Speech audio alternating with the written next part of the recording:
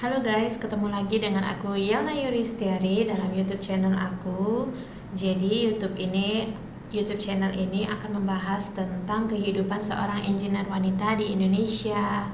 Nah, pada kesempatan kali ini aku mau kasih unjuk ke kalian beberapa fitur-fitur yang ada di EPANET. Sebelumnya kita mau tahu apa itu EPANET.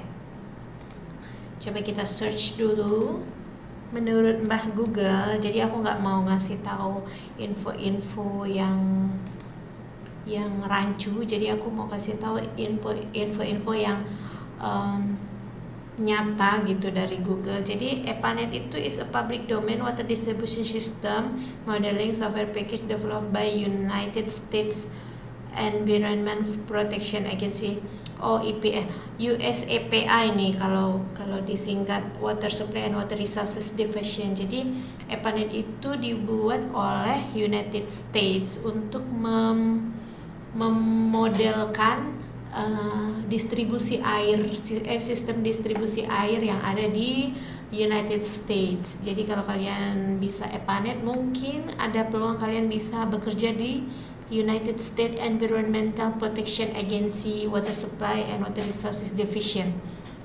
Ah, jadi seperti itu pengertian dari EPANET tersebut. Jadi untuk EPANET ini kalian bisa download di Google dan ini ada user manualnya juga. Kemudian ini ada EPANET 2.0 download free Nah, jadi ini EPANET application for modeling drinking water distribution system. Jadi kalau misalnya untuk uh, seperti PAM atau ya itu PAM perusahaan air mineral yang biasanya dimiliki negara itu uh, mereka aku nggak tahu ya kalau PAM dia pakai sistem apa. Kalau di Indonesia aku nggak tahu. Dan sebenarnya aku di US juga aku nggak tahu uh, aku tahu Epanet ini karena aku pernah dengar kalau ada beberapa um, pengelola air mineral yang di daerah itu mereka pakai Epanet jadi waktu itu aku so, uh, coba searching-searching dan aku coba pelajari sedikit tentang Epanet tersebut. Nah ini jadi di Epanet ini kalian bisa menghitung uh, sistem permodelan distribusi airnya. Jadi secara umum pengertian Epanet itu ya itu tadi ini EPANET Public Domain Water Distribution Modeling. Jadi kalian bisa baca-baca di sini. Nah, kita langsung aja ke softwarenya. Jadi aku udah download software dari EPANET itu sendiri dan ini adalah penampakan uh, software dari EPANET itu sendiri. Jadi kalian bisa lihat uh, ada file, edit, view, project, report, window, help. Nah, jadi aku tadi udah sempat buat uh, contoh model. Nah, ini sebenarnya salah contoh modelnya. Tapi di sini tadi aku coba klik ini untuk pompa, tapi aku tetap nggak bisa buat pompa gitu. Aku nggak tahu masalahnya di mana. Apakah ini software yang aku download ini sudah kadaluarsa? Karena ini udah nggak nggak pernah aku pakai selama mungkin udah tiga tahun lebih. Open. Oh no no. Jadi new new new Nah, jadi kita buat uh, contoh project nih. Jadi kita buka aja new new project. Nah, ini dia new project uh, network map. Jadi untuk di file sendiri itu seperti file-file biasanya. Kalau misalnya kalian buka Microsoft Office atau um, seperti AutoCAD itu juga ada file kalau nggak salah ya. Jadi hampir sama untuk file terus editnya juga hampir sama. View itu juga hampir sama project itu kalau project itu kalian bisa uh, nih calibration data analysis option. Nah coba kita lihat di summary. Kalau summary itu oh title projectnya apa notesnya apa misalnya titlenya project system uh, sistem distribusi air bersih kota Batam misalnya notesnya untuk kecamatan Sagulung misalnya. Terus nanti ya udah oke okay, gitu. Kemudian untuk default default ini uh, oh propertiesnya. Jadi ini default kalau kalian klik ini kan ada gambar tank ya. Gambar tank misalnya kalau kalian klik tuh buat tank uh, tank diameternya itu uh, propertiesnya 50 um, ini meter pasti ini terus ini pipe lengthnya uh, 1000 1000 meter. Tang eh tang tank. Tank tinggi tinggi tanknya itu 20 ini meter ini. Terus auto length auto length itu of uh, pipe diameternya itu 12 pipe roughnessnya 100 terus hidroliknya nah ini flow unitnya itu pakai uh, sistem GPM nah ini kalian bisa ganti. Tergantung kalian uh, flow unitnya pakai sistem apa kemudian head loss formulanya. Nah ini juga kalian bisa ganti sesuai dengan desain kalian. Spesifik gravity nya juga kalian bisa ganti relative viscosity nya kalian ganti. Nah kalau kalian misalnya mau tanya kak itu uh, relative viscosity maksudnya apa? Specific gravity maksudnya apa? Nah kalau aku terangin di video kali ini aku yakin itu videonya pasti panjang sekali. Itu mungkin bisa jadi satu semester. Jadi aku skip aja aku terangin apa aja yang ada di Epanet ini gitu lebih ke softwarenya. Kemudian ini ada uh, maksimum trialnya itu 40 kali accuracy-nya 0,001 if unbalance-nya ini juga kalian bisa pilih uh, pokoknya ini kalian bisa pilih. Dan ID labelnya ini juga uh, kalian bisa isi misalnya junction apa namanya reservoir A, reservoir B atau reservoir mana gitu tanknya juga kasih nama. Pipanya mau dikasih entah pipa 12 uh, sorry 120 mm atau 110 mm atau 100 mm nah kalian bisa buat uh, pipanya di sini. Kemudian pumpsnya jenis pump yang kalian pakai yang kapasitas berapa. Terus uh, valvesnya. Kan kalau valves itu ada butterfly uh, valves ada gate valve. Jadi kalian mau pakai yang mana sistem yang mana Uh, terus ada patternsnya juga curvesnya juga kalian bisa pilih. Pokoknya ini kalian bisa isi karena ini lebih ke default defaultnya. Dan uh, next itu ada calibration data. Nah ini calibration data ini kalian isi pressurnya uh, berapa kualitinya berapa flownya berapa velocity-nya berapa. Nah ini juga kalian bisa search. Uh, maksudnya kalau kalian punya ada datanya gitu kalian bisa search di komputer kalian Terus ini analysis option. Nah, analysis option ini uh, jika default patternnya satu, demand multiplier satu, emitter eksponennya 0,5. Nah, ini penentuan-penentuan ini nanti kalian bisa pelajari lebih detail di sistem distribusi air bersih atau air minum ya. Kemudian ada report. Nah, di report ini contohnya kita buat aja lah ini ya. Misalnya ini reservoir oh ya ini aku mau jelasin dulu. Kalau ini kan kalian udah tahu nih udah sering ada di uh, software-software yang pernah kita pelajari. Uh, sorry kalau aku misalnya kecepatan tapi aku memang mau ngomongnya seperti ini. Jadi aku ngomongnya biasanya agak cepat dan kadang sulit dimengerti. Jadi kalau kalian ada pertanyaan kalian bisa tanyakan di kolom komentar di bawah. Insya Allah aku akan menjawab dengan baik dan benar. Jadi di sini ada kursornya. Kalian bisa pilih op uh, objek nanti dengan kursor ini dan ini adalah select vertex vertex ini kemudian uh, select region. Jadi kan nanti kita buat misalnya ada di sini ada di sini ada di sini. Jadi kalian bisa select region misalnya oh aku mau daerah sini sini sini sini sini. Nanti kan bentuknya misalnya peta nih nih kayak peta gini. Oh peta ini misalnya. Oke okay, region ini gitu. Terus ada apa ini? Oh ini pen ini untuk yang pindah-pindahin dia terus zoom in zoom out full extend terus ada nah ini add junction. Jadi junction itu kayak cabang pipanya gitu. Kalau misalnya kalian mau buat pipa nanti ada cabang-cabangnya. Nah ini pakai add junction. Kemudian add reservoir. Terus uh, ini ada tank ada pipe ada pump ada pump itu pompa valve itu yang kalau misal contoh valve yang sederhana itu uh, ini loh kalau kalian keran itu namanya valve nah itu itu contoh valve yang sederhana. Atau kalian kalau misalnya pergi ke itu biasanya ada di desa-desa uh, sistem air pumpnya. Jadi ada kotak di dalam kotak itu ada bentukan yang apa macam besi yang ada warna birunya itu diputar ke kiri apa ke kanan. Nah itu valve juga. Jadi itu contohnya valve kemudian uh, ada uh, ini label label kalian bisa buat kayak itu apa namanya teksnya lah gitu. Nah ini contoh kita masukin ya ini pak eh bukan ini reservoir. Reservoirnya di sini kemudian di sini ada tank. Reservoir misalnya dia pompa air ke tank. Terus um, dari tank nanti mungkin misalnya langsung tembak ke rumah rumah rumah rumah rumah di sini ada cabang misalnya. Terus ya udah kalian tinggal draw. Nah ini. Kok nggak mau? Tuh kan nggak mau. Oh, mau. Mau. Jadi kalian draw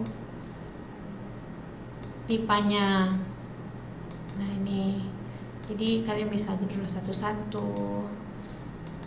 Terus jadi di Epanet ini cenderung lebih mudah ya karena dia sistemnya uh, apa namanya ya mudah mudah dipakai gitu kalian cukup baca pedomannya sedikit ya udah kalian pakai nanti. Nah ini nanti pipanya kalian bisa ganti.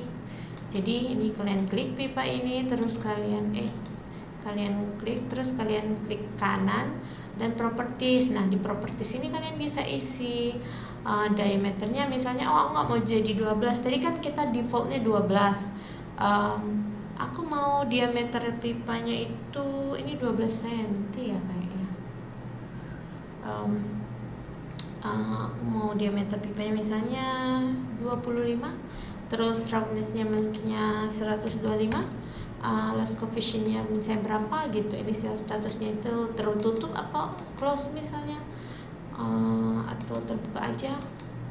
Kemudian uh, wall coefficientnya berapa? Kalau ada uh, bulk coefficientnya berapa? Nah terus ini ke bawah ke bawah ke bawah. Ah, ini nggak usah. Hmm, ya udah. Nanti otomatis dia udah pipanya itu udah pipa sesuai desain kalian. Nah pipa yang ini lagi misalnya kalian ubah berapa yang ini.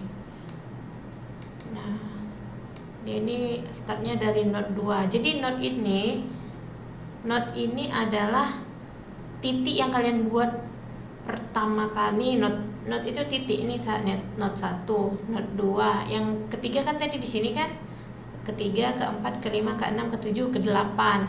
Jadi start node-nya itu di node 2 ini, end node-nya itu dia buat di node uh, eh, 8. Kalau misalnya kalian mau ganti nih, kalian ganti aja nih node-nya mau node hmm, ini nomor berapa nih? Tadi tiga ya nomor tiga misalnya. Kalian ganti nomor tiga kita lihat apakah pipanya akan berganti secara otomatis. Hmm,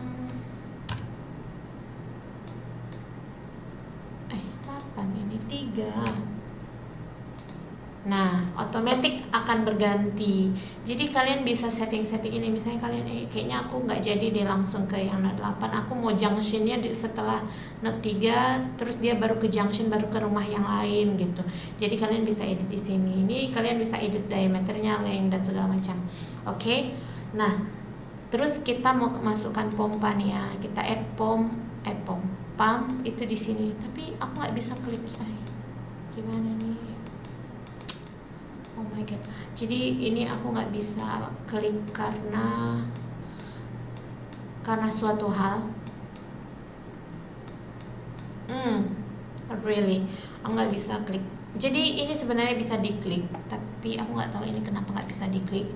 Jadi kalau misalnya kalian udah kasih pump terus kalian udah setting-setting pumpnya berapa tekanannya kemudian berapa uh, jarak dari titik reservoir ke ininya ke mana? Ke tank tank ke sini dari sini ke sini berapa jarak jarak jarak semuanya. Nah terus nanti kalian endingnya itu projectnya itu bisa kalian analisis. Nah analisisnya bisa pakai GPM atau pakai MD, MGD kemudian head lossnya gimana bentuknya H kurang W atau D kurang W. Terus nanti udah kalian setting-setting setelah kalian setting kalian run. Nah setelah kalian run was unsuccessful oke. Okay. karena apa? Karena ini tidak apa namanya komponen-komponennya tidak lengkap. Ini enggak lengkap ini enggak lengkap dan kayak apa ya kayak ya enggak lengkap gitu. Terus ukuran pipanya juga ngaco tadi. Kita kan nggak buat desain yang sebenarnya. Tapi kalau misalnya kita punya desain yang sebenarnya kita cobaran nah nanti itu bisa keluar. Misalnya di titik ini kecepatan airnya berapa? Di titik ini kecepatan airnya berapa? Di titik ini kecepatan airnya berapa? Misalnya di sini ada valve nanti kan. Di valve itu kecepatan airnya berapa? Di junction junction kecepatan airnya berapa? Jadi kita bisa tahu kalau desain kita itu airnya mencapai tujuan dengan baik dan benar atau tidak atau misalnya oh di di rumahnya ini kan ini contoh rumah nih misalnya ini rumah si Ani ini rumah si Budi ini rumah si Sela. Oh rumah di rumah Sela misalnya airnya kecepatannya rendah jadi dia ya dapat airnya sedikit gitu. Jadi misalnya pelanggannya komplain nih di rumah aku ini airnya sedikit kenapa ya nah jadi kita bisa running di sini di sistem yang kita punya. Jadi oh ini kekurangannya di mana? Oh ternyata misalnya kekurangannya di uh, misalnya ada pipa yang terlalu panjang. Misalnya dari rumah A ke rumah B sebenarnya bisa lewat sini. Uh, tapi dibuat pipanya itu berbelok-belok melewati bukit menuruni lembah dan segala macam sehingga uh, di rumah Sela kecepatan airnya itu jadi berkurang gitu. Jadi kita bisa setting itu. Nah, di note-note ini juga menentukan elevationnya. Jadi untuk elevation ini juga kalian bisa bisa setting ya nih. Nah, elevationnya itu kalian bisa setting di nih di ininya sih ah terus ini ada ininya juga apa namanya uh, unit head head lossnya. Head loss itu maksudnya kayak hmm, dari ini ke sini berapa gitu tingginya lah itu kayak tingginya. Head loss ya. Jadi um, sebenarnya kalau misalnya kalian pakai sistem sistem apa namanya sistem epanet ini sudah cukup membantu untuk uh, sistem distribusi air bersih yang kalian rencanakan. Asalkan kalian rencanakan dengan baik dan benar dan sesuai dengan uh, di sini kan tadi kita udah lihat ya kalau di Google itu mereka punya uh, user manualnya. Jadi kalian baca user manualnya baik-baik dan kalian bisa pelajari lagi tentang EPANET ini dan kalian pelajari konsep dasar dari uh, distribusi air bersih perkotaan misalnya. Oke, jadi itu saja tentang pengenalan EPANET secara dasar dan terima kasih sudah menonton YouTube aku. Bagi kalian yang baru pertama kali datang dan tidak ingin ketinggalan dengan update-update video aku tentang teknik sipil dan apa pun itu tentang kehidupan seorang wanita engineer di Indonesia kalian bisa follow bukan follow apa? Subscribe. Kalian bisa subscribe YouTube channel aku dan aku juga punya Instagram. Instagram aku itu @yelna yeye dan kalian juga bisa add aku di Facebook Yelna Yuristiari jadi kalian nanti bisa dapat updatean-updatean terbaru tentang per, per teknik sipilan ini. terima kasih, pokoknya terima kasih sudah menonton dan uh, tetap jaga kesehatan. Sampai jumpa, bye bye.